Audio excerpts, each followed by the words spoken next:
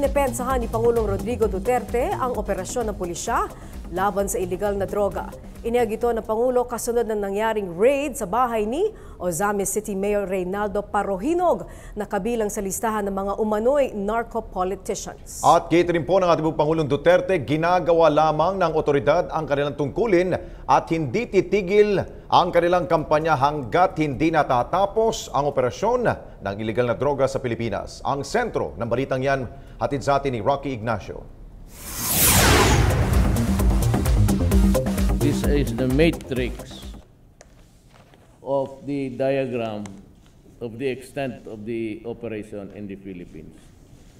Because uh, I was uh, asking for more dossier and uh, I have to read the documents or the reports or the intelligence uh, gathering of the different branches of government. Isang linggo matapos maupo sa pwesto, isinapubliko ni Pangulong Rodrigo Duterte ang tinaguriang drug matrix o kung paano ang operasyon ng iligal na droga sa bansa. The dimensions of uh, our problems regarding drug. So, ang nandito is si Wu Tuan alias Peter Ko. He is uh, a triad member and operating the Luzon and the NCR. He's inside the prison, but he's the one directing the traffic of the drug operations in Luzon. He's currently in jail. Leader of Bilibid 19, I don't know what this means.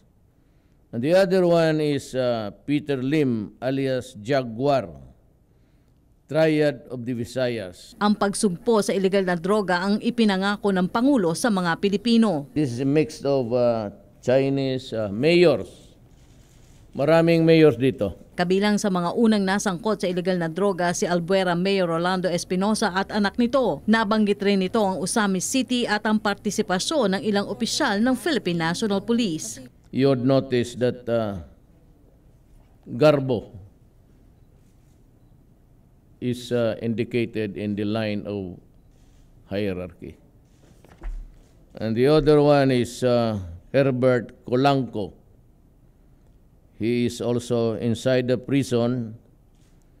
I was informed that he is the son-in-law of the mayor of Osamis, Aldong Parahinog, and is the husband of uh, the vice mayor, who is the daughter of Parahinog. Uh, he's also one of the identified members of Coratong Baliling. At sa pagkasawi ng alkalde at iba pang kasama sa operasyon, iginiit ng Pangulo na ginawa ng otoridad ang kanilang trabaho. The police and the military should make sure that their enemies are dead. Otherwise, if the other guy can still pull the trigger, you will end up with a dead police or a dead military soldier. Bakit ko gusto yan? Eh, ako yung, ako yung commander-in-chief of all the armed forces. Remember that.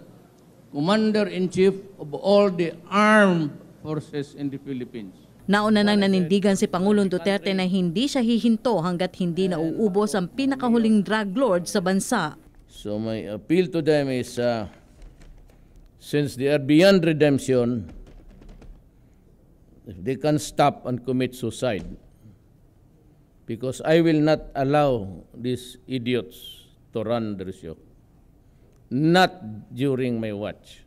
Rocky Ignacio para sa Bayan.